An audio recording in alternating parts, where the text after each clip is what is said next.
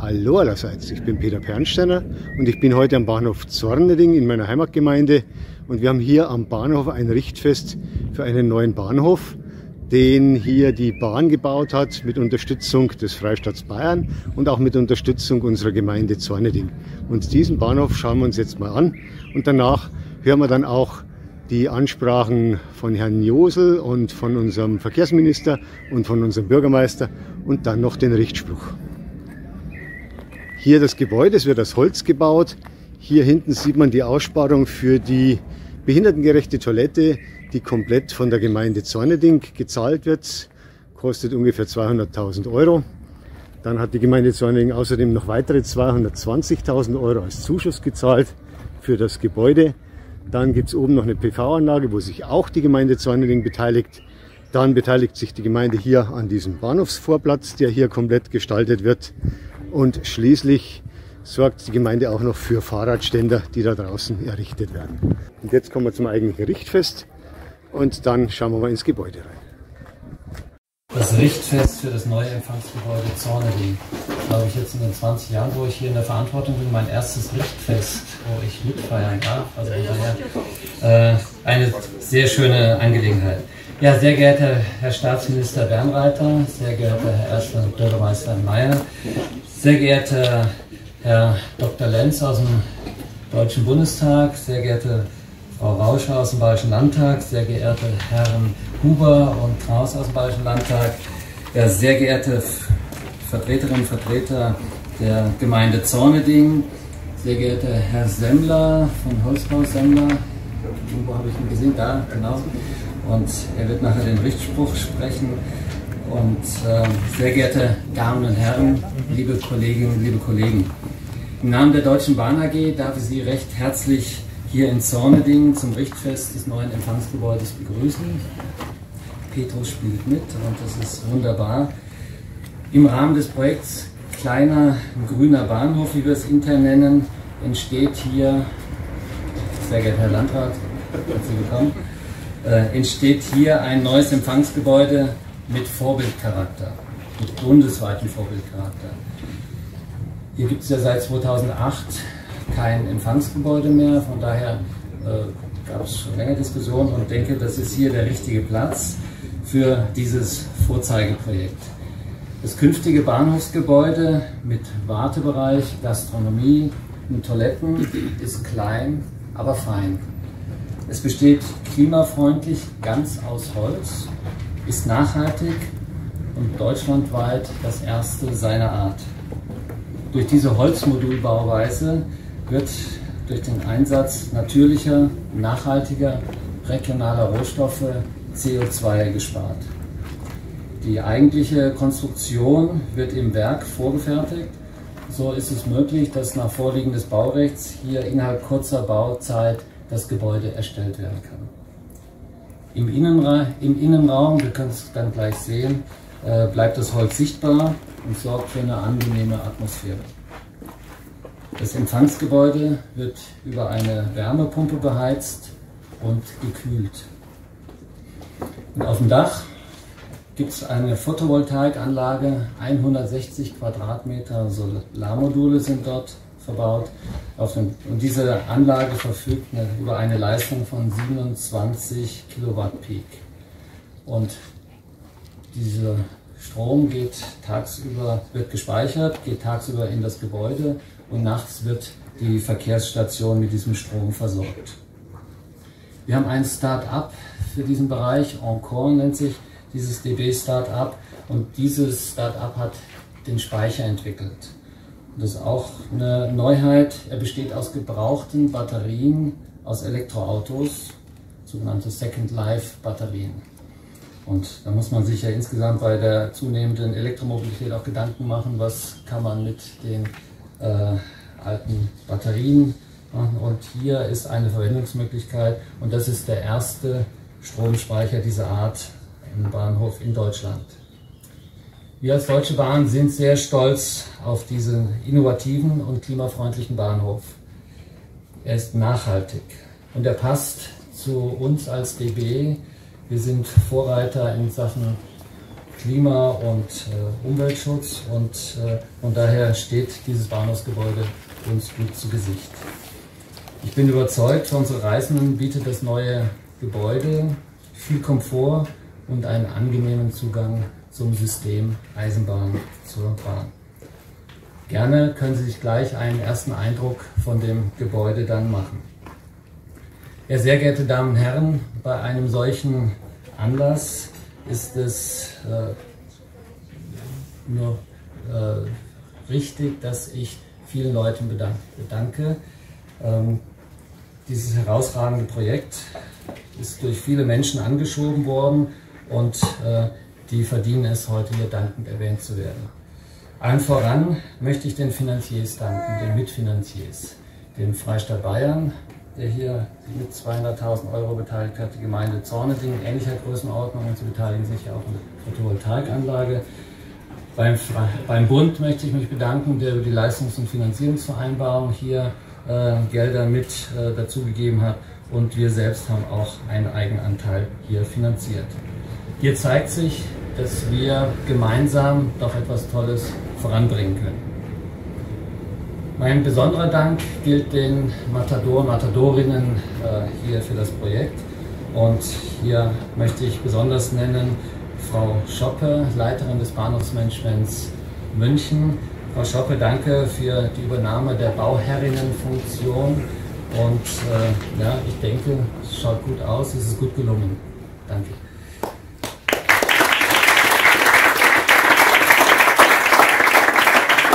Ja, danke auch an die Projektleitung und an das BB-eigene Architekturbüro.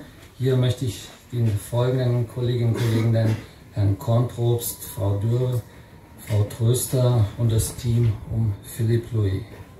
Und danke an Holzbau Semmler für die gute Zusammenarbeit. Ohne Ihren tatkräftigen Einsatz könnten wir das Lichtfest heute nicht feiern. Herzlichen Dank. Ja.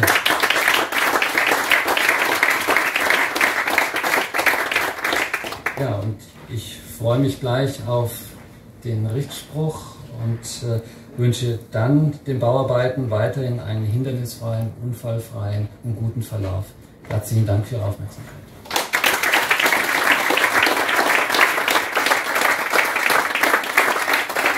Jetzt freue ich mich über ein Grußwort von Herrn Minister Bernreiter und anschließend vom ersten Bürgermeister Mayer. Herr Bernreiter.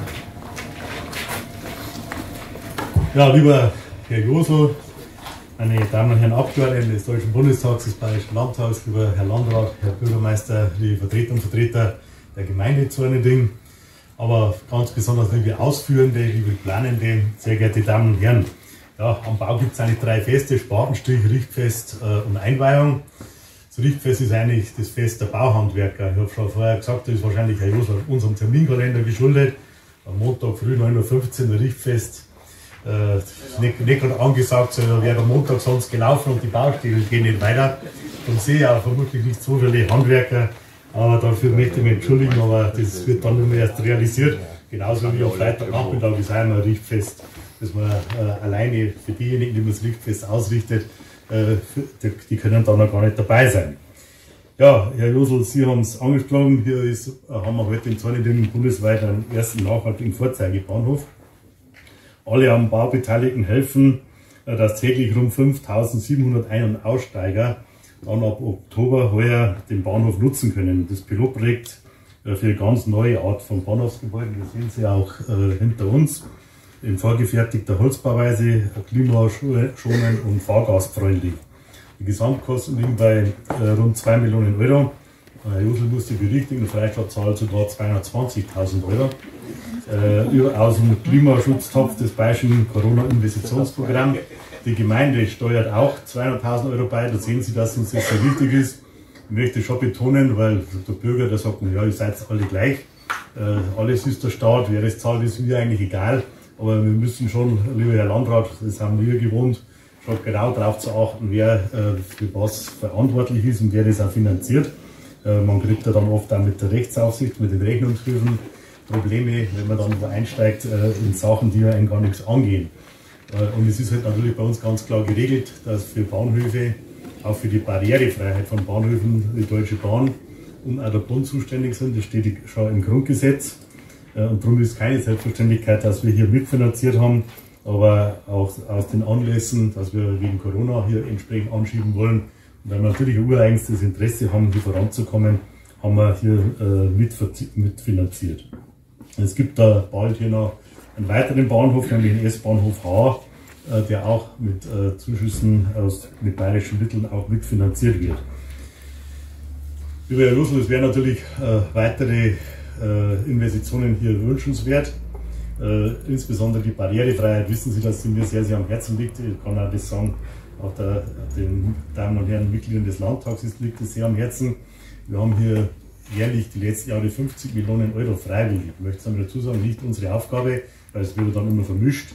Wenn man mal freiwillig was beginnt, dann wird es schnell zur Pflicht. Äh, aber wir haben in Bayern äh, gemeinsam letztes Jahr, also ich glaube, die 500. und 502. und 3. und so, 504. eingeweiht. Äh, wir haben aber über 1000, also wir, da haben wir noch was für uns. Hier höre ich auch gerade, dass nicht optimal ist. Zwar nicht es geht nämlich schon darum, wird dann gesagt, naja, 80 Prozent der Fahrgäste sind jetzt barrierefrei angebunden. Wenn aber jemand dann an einem Bahnhof wohnt, und wir haben Strecken, gibt es dann 60 Kilometer keine Barrierefreiheit, da hat wenig davon, dass ja nur, zu den, nur noch zu den 20 Prozent gehört. Da müssen wir da deutlich äh, vorankommen. Und ich darf sagen, es hat letzte, also zuletzt von der alten Bundesregierung ausgelöst, äh, gemeinsame äh, Finanzierungsprogramme gegeben. Die sind leider alle ausgelaufen, alle abfinanziert. Wir sind noch in den letzten Ausbauten. Und darum würde ich mir schon wünschen, dass der Bund hier über an die Lenz auch nochmal anschiebt. Also wir haben, das, ich höre auch im Antrag große Bereitschaft, dass wir weiterhin bei unseren Mitteln bleiben, aber wir müssen da wirklich auch deutlich äh, vorankommen. Das Programm, das derzeit aufliegt, äh, nur für, für Bahnhöfe, für Baumaßnahmen mit einer Fördersumme von über 10 Millionen Euro. Da sind unsere ganzen kleinen Bahnhöfe äh, fallen da unten durch.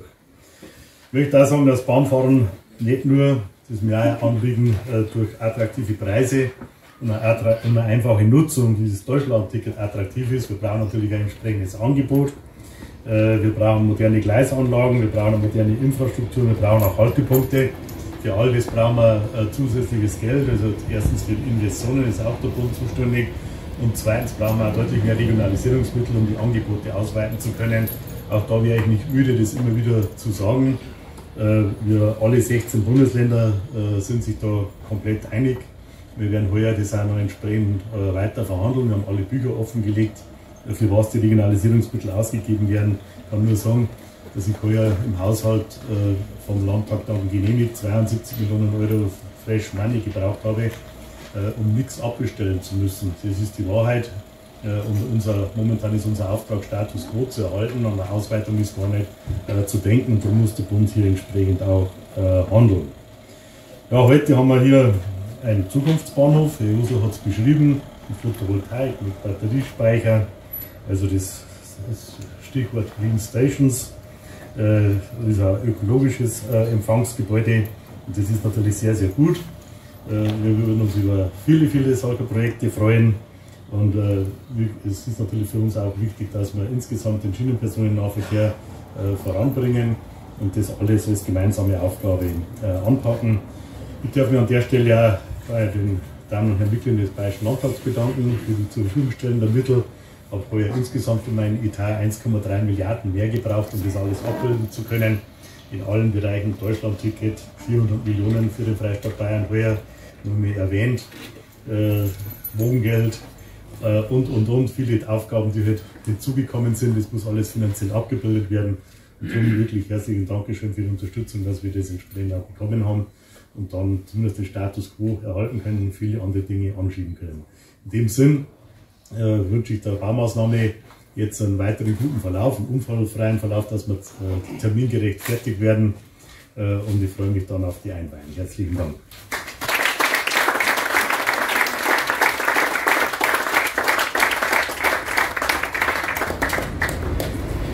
Ja, sehr geehrte Damen und Herren, ein herzliches Grüß Gott in Zorneding wer jetzt alles da ist, glaube ich, brauche nicht wiederholen. Jeder weiß, wer da ist. Wer noch gekommen ist, der Herr Landrat Niedergesetz. Robert, hallo, schön, dass du dir Zeit genommen hast. Ja, ich, also die Begrüßung ist schon von allen erfolgt. Ich möchte mich dieser Begrüßung anschließen. Es freut mich sehr, dass Sie heute alle in Zorneding sind. Wenn man jetzt die Promi-Dichte hier anschaut, sind wir heute quasi der Nabel der Welt. Sie erleben hier und heute einen historischen Moment, weil heute ist die Zeit gekommen, dass 9500 Bürger, Bürgerinnen und Bürger wieder Bahnhof verstehen. Das heißt, nach 15 Jahren Absenz haben wir wieder ein Gebäude im Ort, das die Bezeichnung Bahnhof verdient.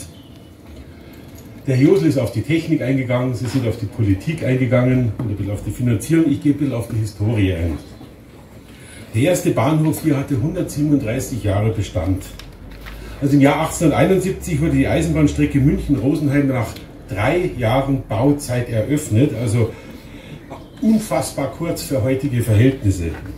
Und am, nachdem am Tag äh, vorher ein Probezug gefahren ist bis Rosenheim, wurde am 15. März 1871 die Strecke regelmäßig mit zwei Zügen am Tag befahren. Stationen waren Heidhausen am Ostbahnhof und Grafing, Trudering, Hart, Zorneding, Kekseon. Und wegen des Schwellenwerks wurde in Kekseon noch ein Bahnhof erster Klasse eingerichtet. Auch in Grafing. Aber Zorneding musste sich mit der zweiten Klasse begnügen. Sie ist heute wieder anders. Aber immerhin war unser Bahnhof ein Stock höher als der Kirchseeoner. Das hat ja schon ein bisschen was. Paradiesische Verhältnisse. Und die Zahl der Fahrgäste war mit Sicherheit auch überschaubar. 5700 werden es nicht gewesen sein. 72, Sie sehen es hier an der Wand, unsere Graffiti-Wand wurde die S-Bahn eingeführt. Beide Orte, Zorning und Pöring, sind gewachsen. Die Fahrgastzahlen, wie wir heute erfahren haben, sind es mittlerweile 5700. Es kommen 240 Zugbewegungen, mit der Brenner Zulaufstrecke wird es mit Sicherheit ein bisschen mehr. Was ein bisschen schade war, die Dienstleistungen der Bahn wurden mangels Nachfrage am Ort nach und nach eingestellt. Güterbewegungen tendieren gegen Null. 76 wurden keine Fahrkarten mehr für die Bundesbahn hier verkauft. Das war also ein absoluter Einschnitt für Zorning. Nur noch S-Bahn-Karten. Nach dem zweiten Umbau waren die Tage von Zornings Bahnhof gezählt. Ein Denkmal wie Zornerding 1871 den Anschluss an die neue Zeit gewonnen hat, zum großen wirtschaftlichen Nutzen der beiden Gemeinden. Sie haben schon erwähnt, 2008 kam das Abrisskommando, weil das Gebäude baufällig war. Man muss sagen, nachdem lange ein Schmuckstück stand, war danach für Jahre ein bisschen ein Schandfleck, nicht einmal ein Provisorium. Und uns als Gemeinde war das von Anfang an wichtig, dass das nicht so bleibt. Und wir haben eine gewisse Zeit gebraucht. Es war ein bisschen langwierig, aber Gemeinderat, Bürgermeister haben jetzt die Zusage von der Bahn bekommen, dass hier ein neues Bahnhofsgebäude errichtet wird. Die Gemeinde gibt noch die Toilette dazu. Ein bisschen muss ich korrigieren, wir haben uns auch mit 220.000 Euro beteiligt. Und was wir noch machen, wir werden das Umfeld des Bahnhofs hier mit über 600.000 Euro noch komplett neu gestalten. Mit Fahrradständer komplett neu und eine Toilette eine automatische Toilette für fast 200.000 Euro, die also rund um die Uhr benutzt werden kann, auch von den Fahrgästen. Ich freue mich sehr, dass das Projekt nach langem Vorlauf jetzt zu einem Abschluss kommt und Zollern wieder einen Bahnhof hat, der den Namen verdient. Es ist eine richtungsweisende Gestaltung und Architektur für kleinere Bahnhöfe in der Bundesrepublik und ermöglicht auch noch Zornedinger die Versorgung mit Reiseartikeln. Ist ein gutes Werk geworden noch nicht ganz fertig, aber wir können wirklich mit Recht jetzt schon darauf stolz sein. Und meinen Dank an alle Beteiligten, die dies ermöglicht haben, die Planer, die Handwerker und die Finanziers. Mein Dank auch an die Organisatoren der heutigen Veranstaltung. Und ich wünsche allen Fahrgästen, die hier diesen Bahnhof benutzen, allzeit gute Fahrt. Ich danke Ihnen für die Aufmerksamkeit.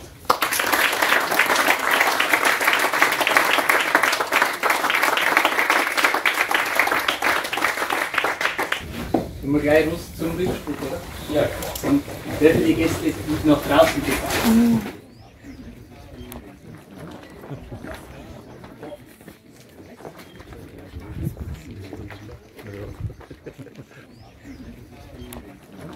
Meine Damen und Herren, sehr geehrter Herr Bernreiter, ich schließe mich, schließe mich ebenfalls den Vorrednern an und begrüße alle, die schon da sind. Ich freue mich, dass, äh, dass ich da heute den Richtspruch halten darf und stellvertretend für die Zimmerer und vor allem für alle Handwerker äh, da dieses Gebäude zu diesem Zustand einweihen zu dürfen. Und vielleicht im Vorfeld eine ganz kurze Geschichte zum Richtspruch. Das ist ein, ein traditioneller Brauch im Handwerk. Äh, man dankt da vor allem dem Herrgott, dass bis zum jetzigen Zeitpunkt dass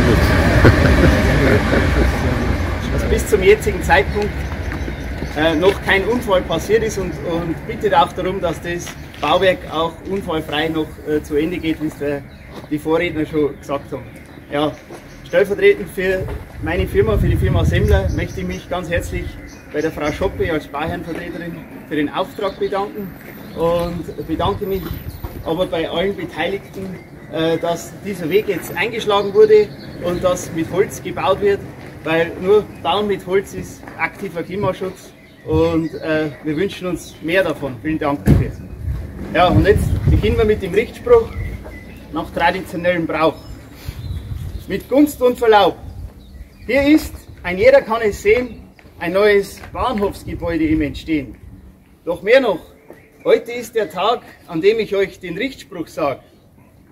Im Bauhandwerk ist es so Sitte, dass in der Bauhandwerkermitte die Bauherrin Mareike Schoppe ohne Stolz und Zier den Umtrunk macht beim Richtfestbier. Bevor wir stärken unsere Magen, möchte ich in kurzen Worten sagen, was jeder hier am Bau getan, vom großen bis zum kleinen Mann. Ehe dieses Bauwerk ward begonnen, hat Architekt Philipp Louis den Plan ersonnen und mit bewährter Könnerschaft die Formen zu Papier gebracht. Und soll ein solches Werk gelingen, dann muss man den Bau zum Bauplatz bringen. Man fertigt vor in aller Eile und montiert sodann die fertigen Holzbauteile. Nach manchem Hieb und manchem Schlag und manchem langen Arbeitstag, mit Eifer und mit viel Bedacht, ist dieses stolze Werk vollbracht. Es ruhet die geübte Hand und stolz grüßt der Richtkranz nun ins Land. Dann wünsche ich, so gut ich's kann, so kräftig wie ein Zimmermann, mit stolz empor gehobenem Blick, dem neuen Bauwerk recht viel Glück. So weihe ich dieses Bauwerk ein mit diesem vollen Glase Wein. Nach altem Brauch und guter Sitte werf ich das Glas dann in die Mitte. Jetzt aber. Gut. Ja.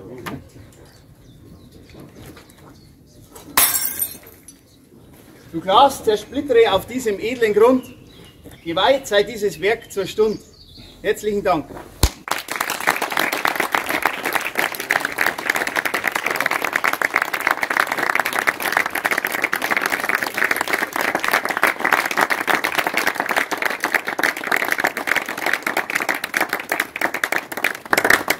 Glaube ich, ist noch ein symbolischer Akt des Augens einschlagen. Des, des Blamierens mit dem Hammer. Wer verliert, der kann den Rest vom Richtfest finanzieren. Also wer macht das? Ich glaube, der Herr Bürgermeister.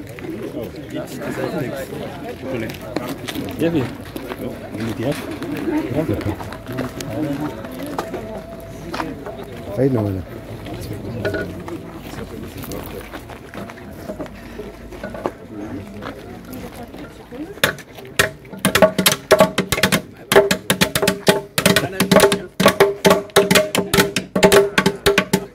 Andi muss zahlen. Dafür hat man Fachleute, ja. Also merkt schon, ich bin Ingenieur, Praxis ja, Ja, dann haben wir.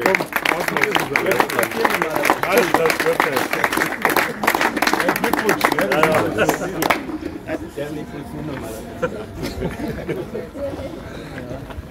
ja. Okay. Können Sie vielleicht alle nochmal mit dem Hammer dastehen, einfach nur, dass wir das Bild das nochmal machen, das wäre super. Im Bundestag können wir nachladen haben.